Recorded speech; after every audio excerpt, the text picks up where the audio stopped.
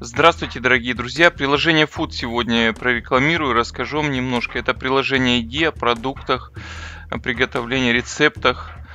Э, вот, пожалуйста, э, раздел «Что можно сейчас приготовить».